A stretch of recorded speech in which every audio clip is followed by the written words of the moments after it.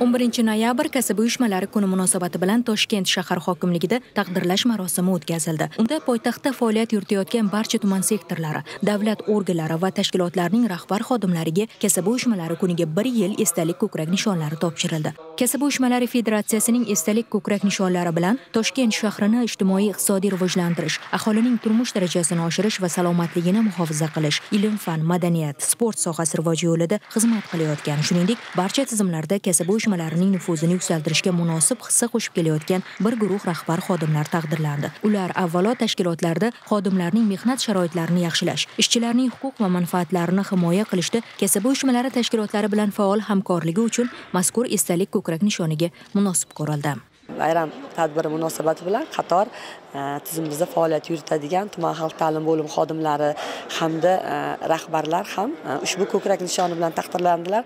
Man o'ylaymanki bu bizni birgalikda faollikda amalga oshirilgan ishlarimizni samarasi va kelgusida birgalikda ya'ni oshkoralik xodimlarimizni huquqlarini himoya qilish bilan bir qatorda kasb uyushmalari bilan hamkorlikni yanada rivojlantirgan holda barcha jarayonlarda olib borilayotgan ishlarimizni tashkil etish bilan birga ularga tayanib qolamiz. Bundan keyin ham e, o'ylaymanki e, bu ko'krak nishonni oqlash ya'ni e, ularni bildirgan ishonchlarini oqlash maqsadida ham faoliyatimizni yanada kengroq hamda birgalikda olib boramiz degan umiddaman. Kasaba uyushmalari demokratik jamiyat erkin va farovon hayot qurish insonlar uchun munosib ish o'rinlari mehnat sharoitlarini yaratish yo'lida davlat boshqaruvi tizimi hokimiyat huquq tartibot organlari oliy ta'lim muassasalari bilan yaqindan hamkorlikda ish olib boradi. Ushbu soha vakillariga kasaba uyushmalari federatsiyasining esdalik ko'krak nishonlarining topshirilishi esa nafaqat rag'bat balki ularga bildirilayotgan katta ishonch va mas'uliyatdir.